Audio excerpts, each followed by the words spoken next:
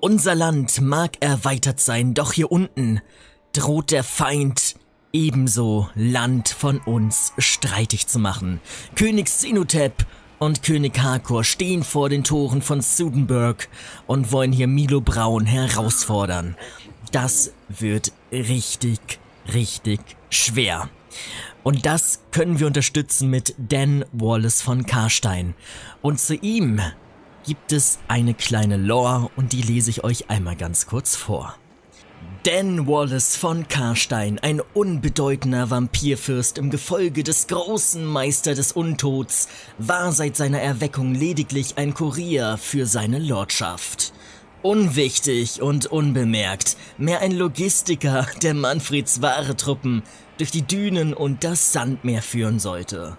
Doch all dies änderte sich mit der Schlacht gegen König Hekenurus, ein Sandfloh zu unbedeutend, um als Gegner seiner Lordschaft überhaupt wahrgenommen zu werden und ein perfekter Kandidat für die unheilige Feuertaufe des Dan Wallace.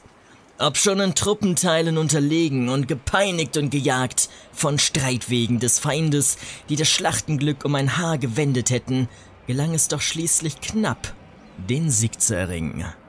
Das haben wir in der letzten Folge gesehen. Und dies ward geschuldet dem unbändigen Willen, gespeist aus der Wut der fehlenden Beachtung, als ein niedriger Spross der Blutlinie. Und würde sich dieses Ansinnen nun in den Augen der Lordschaft Manfred von Karstein ändern, oder wäre er weiterhin nur weniger als ein etwas besserer Karawanenführer für Einheiten? Die Zeit und mit ihr der totale Krieg wird es zeigen. Dan Wallace von Karstein muss hier an dieser Stelle Milo Braun unterstützen. Dafür geht er in den Gewaltmarsch und zieht ganz schnell hier runter zu Sudenburg. Wir könnten mit Milo Braun hier natürlich auch entsprechend ausfallen. Das hätte den großen Vorteil, dass König Hakor hier an dieser Stelle noch im Gewaltmarsch ist und demnach auch im Kampf müde wäre. Aber ich glaube, wir schaffen das nicht. Der Milo Braun hat hier sehr viele schwache Einheiten. Auch die Garnison hat jetzt nicht die besten Einheiten hier, auch viele Zombies und Skelettkrieger. Das bringt nicht so richtig viel. Der Feind ist hier einfach mit einer 40er Armee vor den Toren. Wir müssen eigentlich darauf spekulieren, dass er uns angreift, weil wir dann die Verteidigungsstellung haben. Wir haben Türme. Und dann gibt es noch Hoffnung. Ja, Hoffnung gäbe es vor allem, wenn tatsächlich Dan Wallace von Karstein hier dazustoßen könnte und dann noch unterstützen könnte. Dann sehe das ganz anders aus. Okay, müssen wir mal schauen, wie sich das zeigen wird. Manfred von Karstein könnte sich jetzt um verschiedene Dinge kümmern. Er könnte entweder hier zu Torek Eisenstirn gehen und Karak Urut angreifen. Das würde sich aber nur für uns lohnen, wenn hier eine Bedrohung anstehen würde. Also wenn Torek auf uns losmarschieren würde. Ich glaube nicht.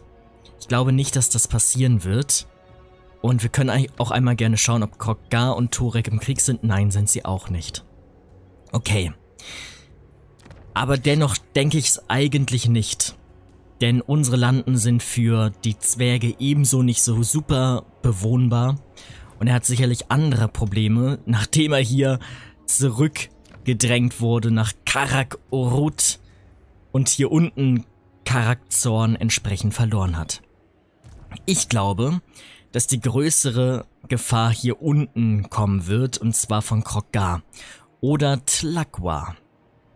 Es wäre richtig gut, wenn wir uns hier einen Bündnispartner suchen könnten, entweder hier oben, damit wir den Norden abgesichert haben, oder hier unten, damit wir den Süden abgesichert haben, weil diese vier Frontenstellung können wir nicht auf Dauer durchhalten. Problematisch ist natürlich, wir haben es gerade gesehen, dass uns alle hassen. Das heißt, die Wahrscheinlichkeit, dass sie uns entsprechend ja beiseite stehen, ist nicht so super groß und unser Verbündeter hier, Arkan der Schwarze, selbst der wird gerade massivst zurückgetrieben. Wir können dennoch einmal kurz in die Diplomatie gehen und schauen, was es da so alles für Möglichkeiten gäbe. Also Tlaqua Stärke Rang 6, ein sehr, sehr starker Feind. Könnte ein richtig starker Bündnispartner sein, zumindest wenn wir nicht Angriffspakt hätten. Wäre das schon richtig viel wert, weil wir uns dann nicht auf den Süden fokussieren müssten. Es geht aber nicht. Es reicht nicht. Was man überlegen könnte, man könnte hier diese Siedlung wieder einnehmen und Tlaqua geben und somit einen Austausch schaffen und einen Wert bieten, damit er den Nicht-Angriffspakt annimmt. Über die Zeit würden wir dann auch immer bessere Beziehungen zueinander bekommen und dann könnten wir vielleicht sogar irgendwann ein Schutzbündnis einrichten, aber momentan will er das nicht. Dann können wir uns einmal Korn anschauen mit Skabrand.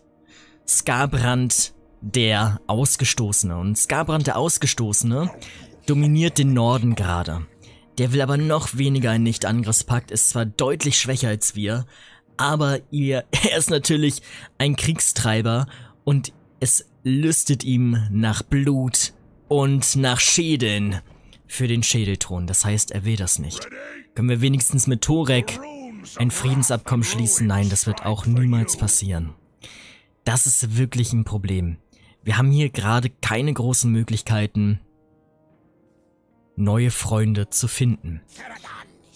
Dann schauen wir doch einmal kurz, ob es eine Möglichkeit gibt, zumindest zu handeln oder einen anderen Nicht-Angriffspakt zu schließen, den wir vielleicht gerade nicht auf dem Schirm hatten.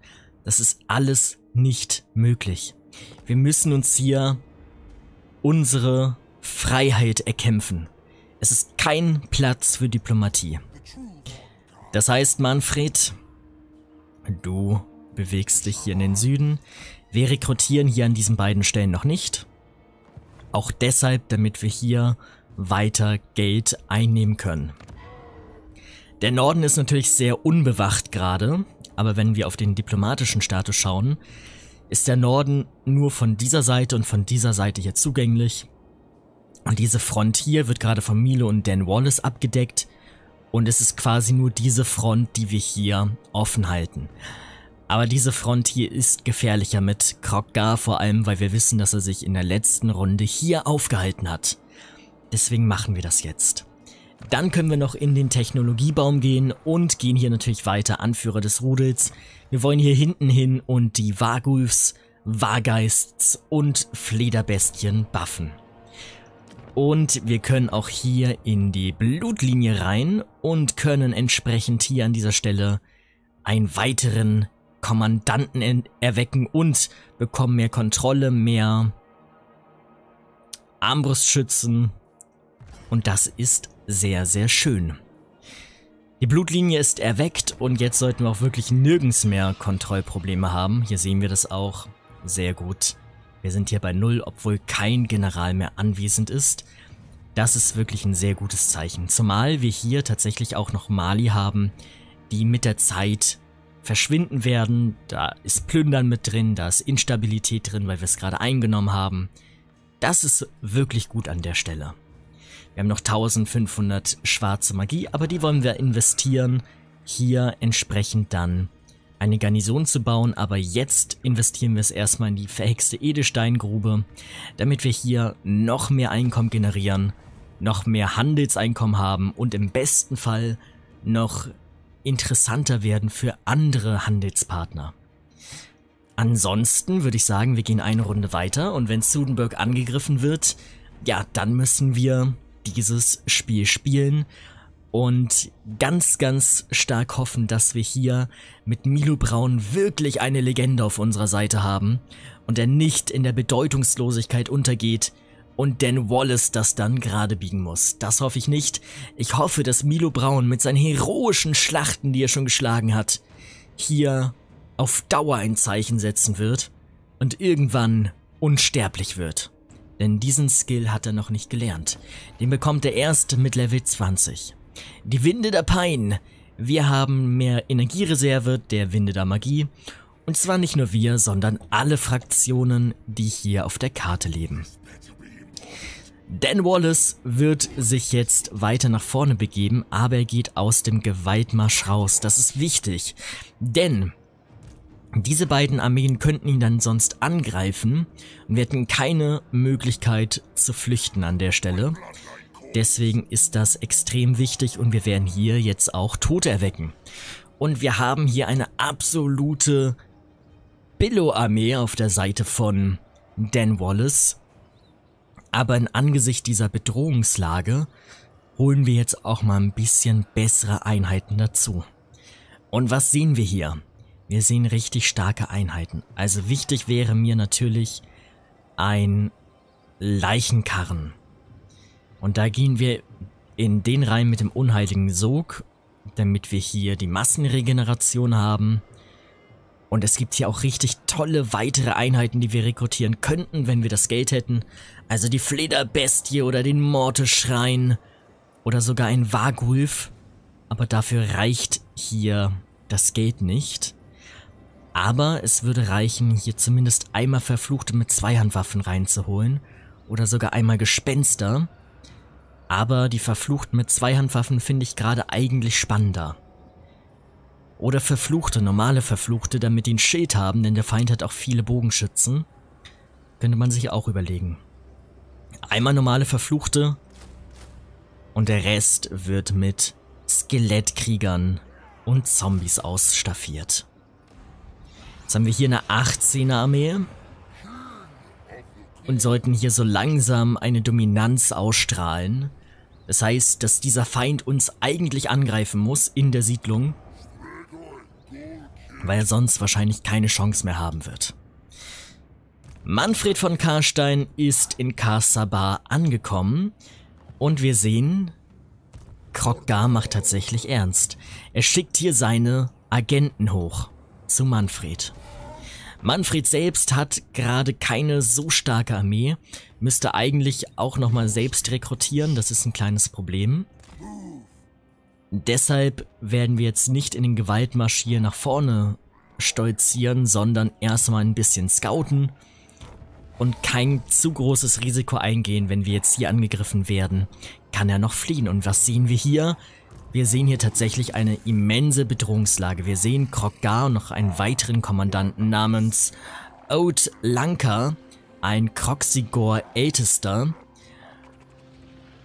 Und wir sehen hier eine gar nicht so schlechte Armee. Gerade hier die gesegneten Kroxigore eine große Herausforderung, wie die Kampfechsen, die mit der Randale-Fähigkeit absolut durch unsere Infanterie durchpreschen können. Viele, viele Rotkampfskings, die auch sehr stark sind. Mit Giftattacken, das heißt große Debuffs auf unsere Infanterie wirken können. Und Kroggar ebenfalls wahrscheinlich mit einer sehr starken Armee. Das ist ein Problem. Kasaba wird bedroht. Und zwar nicht zu gering. Okay, das ist wirklich ein riesiges Problem. Die Echsen kommen. Und auch König Kagitev kommt. Aber wir können da gerade noch nicht so richtig viel machen. Warum plündert er hier? Klar, weil er dann keinen Verschleiß hat. Und er selbst ist natürlich sehr stark angeschlagen, hat noch zwei Agenten, die hier rumgelaufen sind, die sind jetzt zusammengezogen. Hier kann sogar noch ein weiterer Agent dazustoßen. Nein, kann er nicht. Das ist so ein Necrotect, der kann einfach eine Ruine besiedeln, aber zum Glück gibt es hier keine Ruine. Sonst könnte Cetra tatsächlich nochmal wiederkommen, aber so wird König Kagitev hier nur plündern durch die Landen ziehen können und irgendwann wird er zerschmettert. Aber wir haben keine Armee dort, die ihn zerschmettern könnte. Wir gehen eine Runde weiter.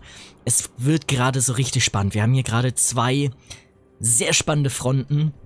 Und wir bräuchten für beide Fronten eigentlich die gebündete Kraft der Vampirfürsten, aber das geht gerade nicht. Wir können gerade nicht anders. Kroggar scheint sich zurückzuziehen. Das ist gut. Arkan der Schwarze Möchte ein Schutzbündnis, das gefällt mir eigentlich. Er ist mit den gleichen Fraktionen wie wir im Krieg, zumindest zum Teil. Aber er würde noch weitere Feinde mit sich bringen, die wir nicht automatisch als Feinde hätten, aber die würden uns natürlich hassen, wenn wir dann entsprechend dieses Schutzbündnis eingehen. Arkan der Schwarze ist gerade sehr, sehr schwach. Er ist super schwach und ist hier tatsächlich mit Réponse de Lyonesse richtig, richtig stark im Krieg und sie scheint den Krieg zu gewinnen. Wenn sie den Krieg gewinnt und wir haben hier gemeinsame Sache mit ihm gemacht, dann wird sie uns hassen. Und wir hätten hier auf der ganzen Halbinsel einen riesigen Feind. Das machen wir nicht. Wir lehnen das ab. Wir haben gerade nichts von diesem Bündnis und wir müssen auch an unsere eigenen Grenzen denken, an unseren eigenen Schutz denken. Wir haben überall Feinde und überall potenzielle Feinde. Es gibt wirklich keine Grenze, wo ich sagen kann, okay, da geht gerade keine Gefahr aus. Das gibt es gerade nicht. Da müssen wir hinarbeiten. Aber wir arbeiten nicht darauf hin, wenn wir hier ein riesiges Gebiet zu einem potenziellen Feind erklären. Dunkler Nexus. Ein Nexus dunkler Magie umgibt uns, stärkt uns und erfüllt alles mit Unleben, was ihr wünscht. Es ist, als sei jede Nacht Geheimnisnacht. Wir müssen diese Segnung ausnutzen, solange sie uns erhalten bleibt. Energiereserve der Winde der Magie plus 10 für alle Armeen. Das gefällt Manfred und das gefällt vor allem auch dem Seelenwind. Kroggar ist weiterhin hier, rekrutiert weiterhin, aber die andere Armee ist tatsächlich nach vorne gewandert. Outlanka steht vor Manfred. Wir könnten mit Manfred noch weitere Truppen rekrutieren. Doch würde es reichen, Outlanka zu töten, ist die Frage. Er ist natürlich geschwächt an dieser Stelle, das ist schon mal gut. Aber diese Rotkampfskings sind wirklich stark. Die haben wirklich was drauf. Saurus mit Speer auch nicht zu unterschätzen. Diese Einheiten, die Kroxigore. Was könnten wir denn hier erwecken? Schauen wir uns doch einmal an. Ja, Gespenster wären eigentlich nicht verkehrt, wenn wir jetzt an die stark gepanzerten Sauruskrieger denken, aber es sind ja auch viele große Einheiten da und wir haben nicht so richtig viel gegen groß. Skelettspeerträger wären schon eine gute Sache hier für diese Armee. Und Fledermäuse auch, um die Fernkämpfer zu binden, wobei das könnte auch die Flederbestie machen. Also die Skelettspeerträger finde ich gar nicht so verkehrt hier in dieser Konstellation. Aber es reicht noch nicht mal die ganze Armee aufzufüllen. Wir machen hier mal eine 20er Armee draus und gehen mit Manfred in eine Stellung,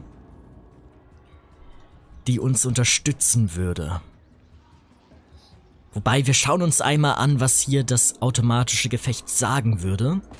Wir können ja das immer abbrechen. Das ist ja kein Problem.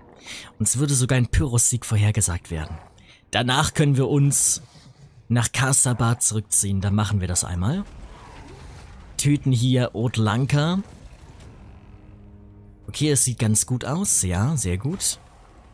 Und wir gehen hier in die Magie rein. Denn mit Manfred ziehen wir uns jetzt zurück. Das heißt, oh, wir schaffen es gar nicht nach Kasaba, aber wir ziehen uns trotzdem zurück. Das heißt, Kroggar kann hier keine große Gefahr darstellen, nur noch eine Armee. Er kann nicht mehr gebündelt angreifen, das sieht ganz gut aus an dieser Stelle hier. Und Manfred bekommt einen weiteren Fähigkeitspunkt dazu. Und da gehen wir... Worauf ist die Frage? Wir könnten sagen, auf Lebensentzug wird beim Wirken eines Zaubers ausgelöst, stärkt die Winde der Magie. Ja. Ja, Finsternis der Verzweiflung ist ein starker Zauber, den finde ich eigentlich toll. Minus 16 Führerschaft bringt richtig eingesetzt Feinde schnell zum Fliehen, das ist ganz gut. Oder wir debuffen mit Seelenfäule, auch ein starker Schaden. Oder Antlitz des Schnitters bufft unsere eigenen Einheiten, wenn unsere Einheiten kurz vor sind zu fliehen, können wir nochmal Führerschaft auslösen. Bei unseren Einheiten durch Entsetzen und Angst gäbe es die Möglichkeit, dass der Feind anfängt zu fliehen. Das heißt, unsere Einheiten werden in der Führerschaft gebufft und der Feind wird gedebufft. Aber beide Sachen müssen wirklich zur richtigen Zeit ein eingesetzt werden und angewendet werden.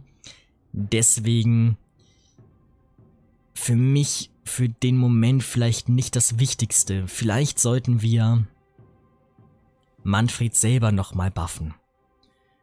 Und zwar mit Rüstungswerten oder Nahkampfabwehrwerten, damit er entsprechend länger durchhält. Wir haben schon gesehen, Manfred musste in der Vergangenheit schon immer mal wieder geheilt werden. Und wenn wir das minimieren können, können wir die Winde der Magie für andere Sachen ausgeben. Deswegen gehe ich hier einmal auf die Rüstung rauf. Ist aber definitiv diskutierbar, worauf man hier geht, ob man das Zauberportfolio nochmal weiter ausbauen will oder nicht. Bei unserer Banshee gehen wir auf die Geschwindigkeit, damit sie im Notfall noch abhauen kann. Und dann ist mit Manfred auch alles in Ordnung an der Stelle. Beschädigte Gebäude. Hier oben. Ja, da hat ein Agent ein bisschen Schabernack getrieben in Katar. Wir reparieren das, ist relativ teuer, aber wir haben gerade das Geld durch die Schlacht. König Kagitev geht in den Gewaltmarsch und ist damit fast tot. Nicht sehr schlau, aber ich will mich nicht dran stören. Und hier an dieser Stelle können wir langsam auch dazu stoßen. Das ist gut. Wir können hier sogar nochmal Tote erwecken und starke Einheiten ausbilden. Das sollten wir auch tun. Aber so eine Flederbestie hier lohnt sich nicht. Wir haben nicht so viel richtig... Also wir haben nicht wirklich viel Einkommen gerade. Aber hier... Einmal verfluchte... Nochmal für die Vorderlinien. Und einmal... Die Sensenreiter sind unfassbar stark, aber wir haben nicht so viel Geld. Das können wir nicht finanzieren. Und einmal Fledermäuse für die Bindung der feindlichen Bogenschützen. Und jetzt gehen wir hier ran.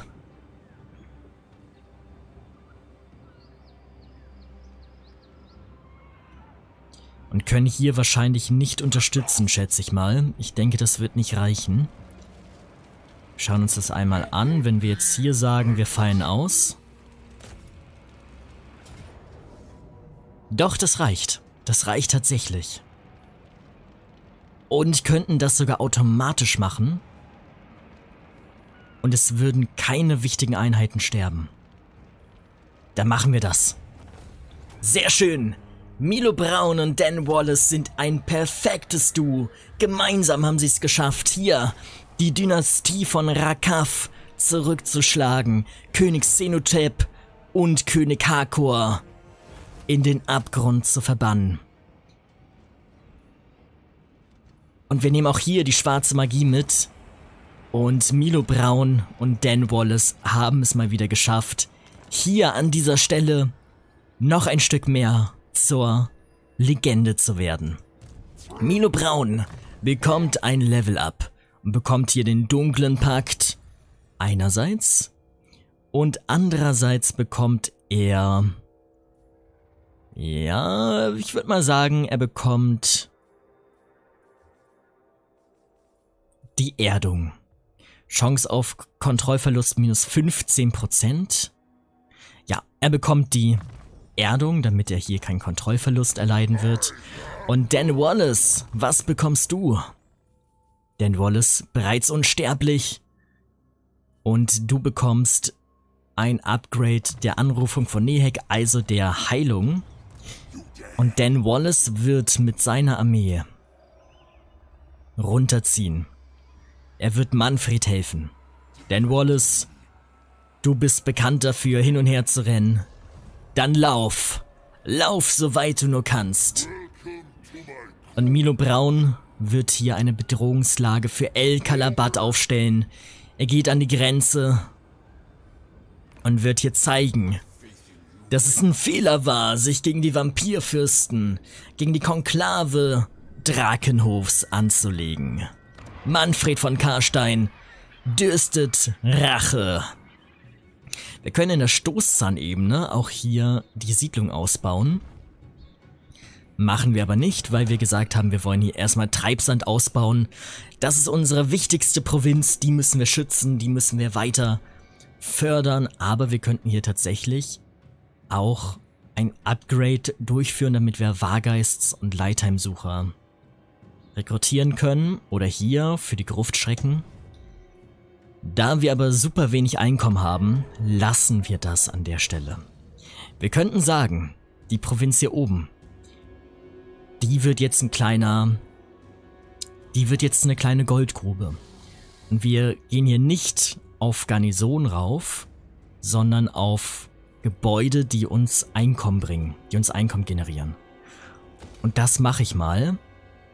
Dadurch gehen wir und laufen wir natürlich Gefahr, dass wir hier an dieser Stelle angegriffen werden könnten und uns dann nicht so gut verteidigen können.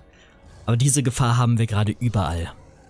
Und diese Gebäude, diese Einkommensgebäude, die sind eigentlich ganz gut darin, relativ schnell sich zu rentieren. Wir sehen das hier, der befallene Goldschacht ist nach zwei Runden, die er läuft, wieder reingespielt. Also das lohnt sich. Das heißt, wir bauen hier oben Einkommensgebäude und da sind wir dann auf einer ganz guten Seite. Numas ist hier tatsächlich noch nicht in der Lage, ein weiteres Gebäude zu bauen, welches uns Einkommen bringt, weil wir haben hier den Geigen schon. Hier könnte man tatsächlich überlegen, ob man hier den Leichenhaufen, also die Garnison baut, weil hier oben natürlich sich die meisten Angriffe fokussieren werden. Aber auch das lassen wir. Wir wollen unsere alten Pläne weiter voranschreiten lassen. Das heißt, wir können auch eine Runde weitergehen und haben hier unsere Landen schon richtig gut verteidigt. Also, hier an dieser Stelle Kroggar in die Schranken gewiesen. Er kommt auch höchstpersönlich. Er leidet Verschleiß. Hier auf dieser Seite die anderen Gruftkönige von Rakaf in die Schranken gewiesen. Sudenburg verteidigt. Und so langsam wird sich keiner mehr in den Krieg gegen uns stürzen, doch was sagt die Réponse dazu? Die Réponse de Lyonesse. Sie erklärt uns den Krieg. Sie war der Grund, warum wir uns nicht auf ein Schutzbündnis eingelassen haben. Doch der Hass ist groß genug. Sie scheint Vorurteile zu haben. Was ist das denn hier? Das ist ja wirklich das lächerlichste, was ich je gesehen habe. Schaut euch das mal an. Wir haben hier eine sehr geschwächte Armee von Milo Braun. Aber der Feind greift uns an mit einem Schrei Streitwagen und einem Kommandanten der Stufe 1. Und wir sollen das verlieren? Wir sollen das wirklich verlieren? Das führen wir, das Gefecht. Ich war hier gerade in Rage und hab versucht, die Réponse de Lyonesse runterzumachen. Und dann kommt hier die, die Dynastie von Rakaf an und denkt, sie könnte uns wirklich schaden? Das denkt sie wirklich? das wird sie nicht. Wir werden uns nicht kampflos hingeben. Nicht gegen so wenig Einheiten, das schaffen wir. Ich glaube, das schaffen wir. Also, wir stellen uns hier natürlich einmal auf, relativ passiv und nehmen hier den Hügel mit. Warum machen wir das? Damit der Streitwagen uns nämlich nicht allzu sehr nerven kann. Die Zombies kommen nach vorne. Also das Problem ist jetzt natürlich, dass hier die Einheiten auf, also die, diese Zombies hier zum Beispiel sind nur noch 24 Zombies. Die haben gerade die höchsten Lebenspunkte, die sie haben können. Und die können wir jetzt nicht mehr heilen. Wir sehen, die haben nur diese Lebenspunkte. Aber die sind schon auf diesen 24 Zombies verteilt. Deshalb können wir nicht mehr heilen, weil Heilung nicht die Erweckung neuer Zombies schafft. Aber wir können beispielsweise den Leichenkarren hier an dieser Stelle heilen, weil Ganz klar, weil der Leichenkarren natürlich eine einzelne Einheit ist und somit dann auch voll geheilt werden kann. Hier sehen wir das. Hier ist das Cap. Und die werden dann, glaube ich, einen ganz guten Job machen. Und unseren Kommandanten können wir natürlich auch heilen und ich glaube, das wird am wichtigsten sein. Zudem können wir Gruftschrecken und Gruftgule beschwören. Ich glaube, das sollte kein Problem sein an der Stelle. Der Kommandant ist natürlich eine schwierige Einheit, der ist stark, gar kein Ding. Das dürfen wir auch nicht herunterspielen, aber das sollte trotzdem sehr, sehr gut machbar sein. Wir klumpen hier so ein bisschen. Warum? Weil der Feind eigentlich keine Einheiten hat, die vom Klumpen entsprechend profitieren. Und wir sind auch relativ weit weg, sind passiv, damit der Streitwagen hier nicht groß flankieren kann. Wir profitieren auch von den Regenerationsfähigkeiten, das heißt Milo Braun regeneriert hier an dieser Stelle auch schon, obwohl er kein Zauber auf sich gewirkt hat. Das läuft ganz gut. Und die Leichenkarren müssten eigentlich auch Leben dazu bekommen. Und ja, das passiert auch. Das heißt, je länger wir warten, desto mehr haben wir davon. Und die Winde der Magie sammeln sich hier an der Stelle auch. Das heißt, wir können mit Milo Braun gleich Gruftgul und Gruftschrecken entsprechend rekrutieren. Und das Geklumpe ist natürlich gut, damit hier die Regenerationsfähigkeiten schön auf die ganze Masse gehen, wenn wir gleich hier zum Krieg kommen, zur Schlacht kommen. Denn der König Sachom und die Streitwegen können natürlich nicht auf einer breiten äh, Schlachtreihe angreifen. Das passiert hier an der Stelle nicht. Wir werden hier einen relativ langweiligen Kampf sehen. Und je länger er sich hier Zeit lässt, desto besser für uns. Was natürlich auch gut ist, der lange Weg wird den Feind schon erschöpfen, das heißt, er wird nicht mit voller Vitalität hier oben ankommen. Und auch das ist schön, weil wir dann an der Stelle nämlich dann hier nicht nur den Hügelvorteil haben, sondern auch den Vitalitätsvorteil. Also dass uns hier die automatische Berechnung gesagt hat, dass wir das verlieren, das ist ja wirklich schon ein großer Hohn, muss ich ganz ehrlich sagen. So, würde mal sagen, wir sind hier Steuergruppe 1. Steuergruppe 1 darf gleich zur Schlacht ansetzen. Und zwar schön in den Rücken der Streitwegen. Alle Mann rauf. Und dann kommen hier jetzt die Gruftschrecken, die ich overgecastet beschworen habe. Und dann werden jetzt hier die Streitwegen als allererstes in die Mangel genommen. Die haben gar keine Chance, schön umrundet, kommen hier nicht mehr weg. Die Gruftschrecken natürlich auch sehr stark mit ihrem Waffenstärken-Bonus von 70, sogar mit Bonus gegen Rüstungseinheiten hier. Der Streitwagen hat ja 80 Rüstung und natürlich hohen Nahkampfangriffswert. Das ist richtig gut. Hier der Streitwagen ist schneller zerstört, als man gucken kann. Gar kein Problem. Das ist wirklich so überhaupt gar kein Problem. Und da wir das jetzt getan haben, werden wir den Feind hier an dieser Stelle nochmal debuffen und alle raufschicken. Das wird ein großes Geklumpe. Und so richtig viel verlieren können wir nicht, weil wir haben ja hier die Leichenkarren, die entsprechend auch heilen werden und immer gegenheilen. Und dann können wir auch sogar den Seelenraub hier einmal anwenden. Dann ist er jetzt auch endlich mal sinnvoll an der Stelle. Sehr, sehr schön. Wir könnten sogar noch einmal Gruftschrecken beschwören, das machen wir an der Stelle noch nicht. Und heilen brauchen wir auch gerade nicht. Das ist ja wirklich schön. Also das ist doch hier gerade die Bilderbuchschlacht, die man nur führen kann. Und das ist wirklich ein Hohn, dass uns hier gesagt wurde, dass wir das verlieren könnten. Dass das Spiel auch nur im Ansatz daran denken könnte, dass man das hier verlieren könnte. Das ist unter unserer Würde. Unter der Würde von Manfred von Karstein. Unter der Würde der Vampirfürsten.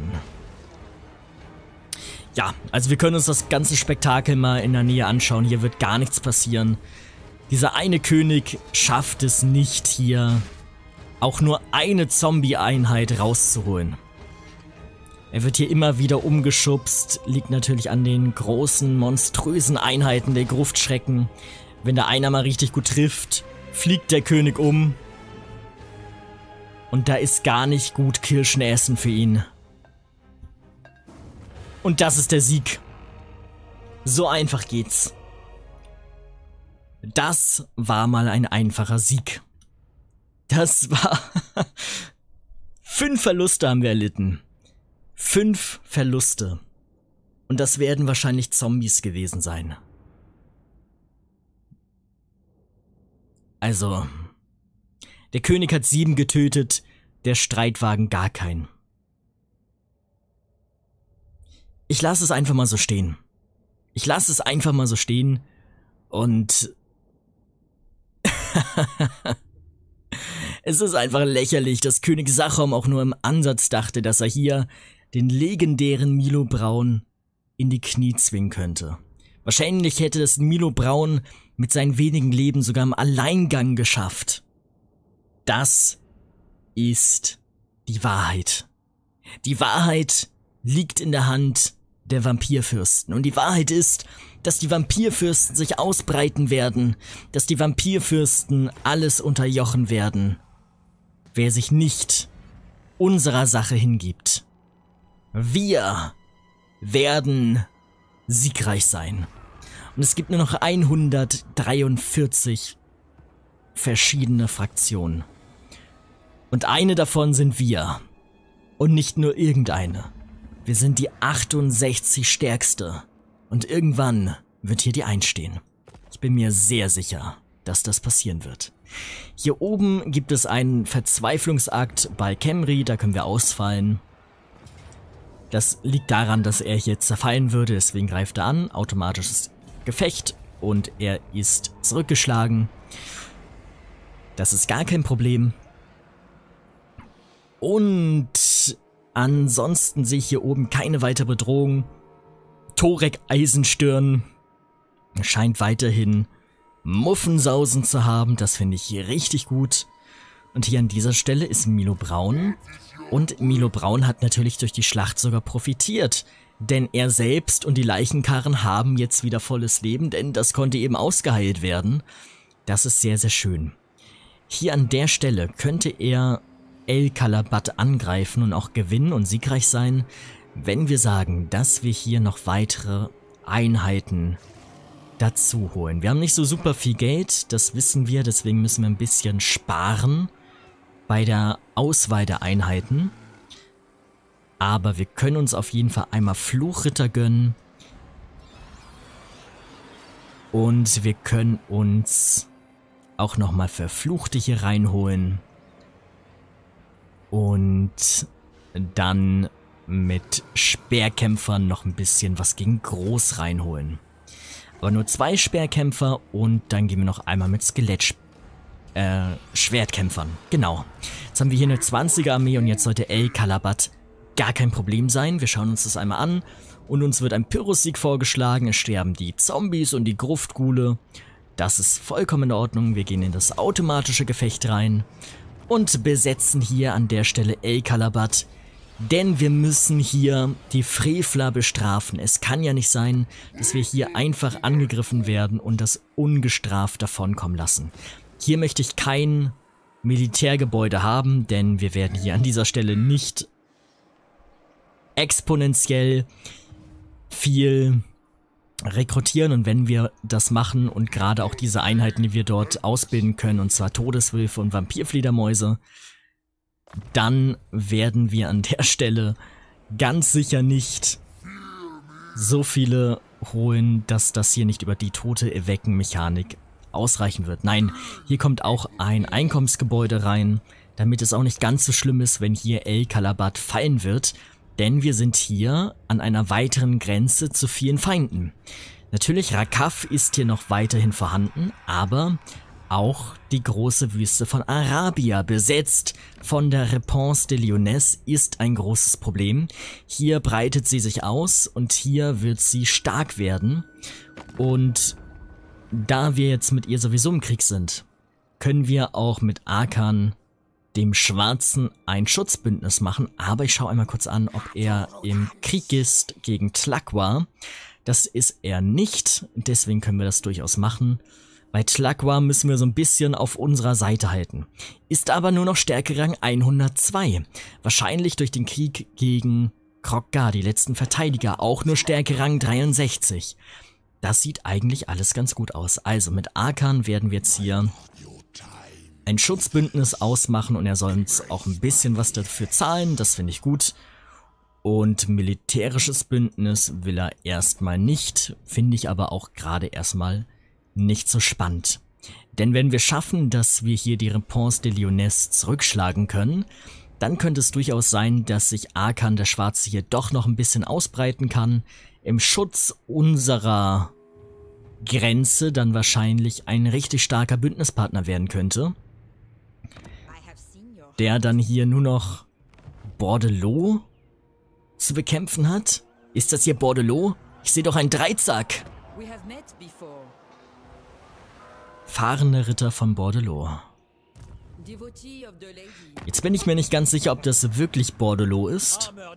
Ja, das ist die Bordelot-Fraktion, die eigentlich hier in Bregon startet. Also wir sehen das hier nicht, aber hier ist Bregon. Die haben es tatsächlich über den großen Teich geschafft. Okay. Aber die sollten kein großes Problem sein. Sehr schön. Also hier an dieser Stelle sichern wir die... Ja, sichern wir die Grenze mit Milo Braun in El Calabat. Dan Wallace von Karstein wird hier runterrennen und Manfred helfen gegen Kroggar. Aber Kroggar könnte vielleicht jetzt schon mal in seine Schranken gewiesen werden. Wir schauen uns einmal an, was hier ein Kampf sagen würde. Das wäre eine mannhafte Niederlage. Mhm. Ich sehe warum. Wir haben viele, viele Fernkämpfer. Und wir haben nicht so viele Möglichkeiten, die rauszunehmen. Wir haben aber Möglichkeiten, sie rauszunehmen. Die Kampfechsenreiter mit Speeren sind natürlich richtig gemein. Weil die vor allem auch gegen die Flederbestie stark sind. Und so ein bisschen wie die Blutritter sind. Von der Art und Weise, wie man sie spielt.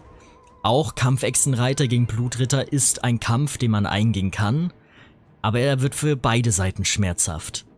Vede Stegadon, stark gegen unsere ganzen Infanterieeinheiten, der rennt hier einfach rüber über die Zombies und dann die gesegneten Kroxigore. Ich sehe schon, dass das ein harter Kampf werden würde, den müssten wir spielen, aber wir können hier auch erstmal noch ein bisschen zurückfallen damit wir unsere Armee stärken und Kroggar durch den Verschleiß noch weiter leidet.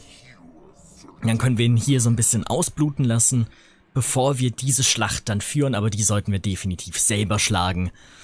Denn hier gibt es noch eine weitere Armee, die aufgestellt wird. Und zwar von einem Käuptling. So einen haben wir schon mal gesehen in einer Schlacht. Und haben mächtig versagt in dieser Schlacht.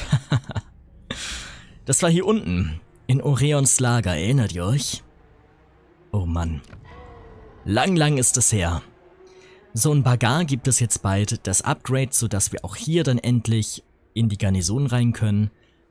Das sieht sehr, sehr gut aus. Und hier in Kasaba können wir auch irgendwann nochmal ein Mauer-Upgrade machen. Das sieht eigentlich alles ganz gut aus. Wie sieht es denn hier oben aus mit den Gebäuden, die uns mehr Geld bringen?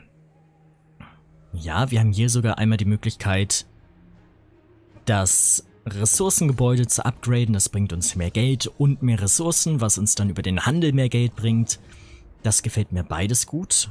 Und hier haben wir halt nur noch so ein bisschen die Überreste von Camry, aber die werden jetzt die nächsten ja, die nächsten Runden aussterben. Also gerade hier, Baufra wird sterben und Fürst Inenza hat auch nicht mehr lange zu lachen, spätestens wenn Baufra hier stirbt. Wobei er nicht sterben müsste. Er könnte einfach hier in Plündern gehen und die Agenten könnten nochmal zusammenziehen, dann hätten sie ein bisschen mehr Macht. Aber es ist halt alles, alles gelaufen für den Feind an der Stelle. Es sieht gut aus. Ich kann mich nicht beklagen. Wir machen hier einen richtig guten Job. Wir gehen nochmal eine Runde weiter und schauen uns dann an, wie sich das hier verhalten wird. Aber ich bin absolut guter Dinge. Krokka greift uns an, wir gehen in den Rückzug rein. Es ist nur ein taktischer Rückzug, natürlich kein feiges Wegrennen. Es ist der taktische Rückzug, um dem Feind mit aller Kraft, mit aller Macht die Gliedmaßen herauszubrechen, wie es sich für einen Vampirfürst gehört. Hier sehen wir unsere Lande. Wir werden immer größer, wir werden immer mächtiger. Aber auch die Konkurrenz wird immer größer und immer mächtiger. Also Krogar hat sich hier auch ein schönes Stück abgeschnitten. So, wir schauen uns das einmal an. Klicken einmal alles weg. Also Krogar, legendärer Lord, hat ein riesiges Stück hier eingenommen. Tlakwa mit Tic-Tac-Toe hat sich ein riesiges Stück rausgeschnitten. Wir haben uns ein riesiges Stück rausgeschnitten. Arkan der Schwarze, unser Verbündeter, auch ein legendärer Lord, ist gerade am Verlieren gegen die Réponse de Lyonesse. Auch sie große, große Bereiche hier an dieser Stelle. Also wir haben es hier mit sehr, sehr vielen legendären Lords zu tun, die sich natürlich durchsetzen, ist ja klar. Mit der Ausnahme von Rakaf, die wir hier aber zerstören werden. Und natürlich von Oftos, der hier in der schwarzen Pyramide des Nagash residiert, aber das ist natürlich auch gescriptet, dass die hier sehr, sehr stark ist.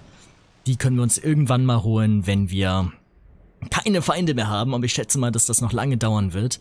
Also hier haben wir wirklich ein riesiges Problem. Umzingelt von Feinden. Natürlich hier auch Torek Eisenstirn als legendärer Lord.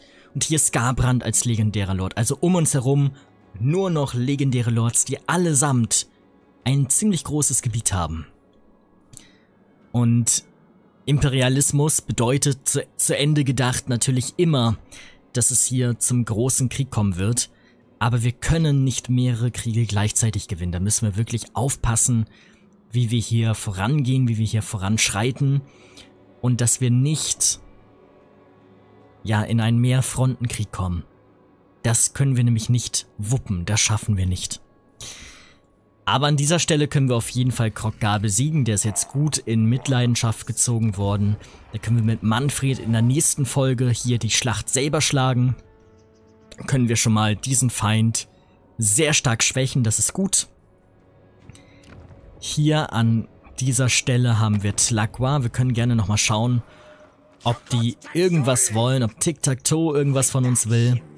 Aber ein Nicht-Angriffspakt steht gar nicht mehr so weit außer Disposition. Also da können wir vielleicht irgendwann den Süden zumindest absichern, das wäre schon mal richtig viel wert. Und an dieser Stelle, ja, Milo Braun muss hier halten.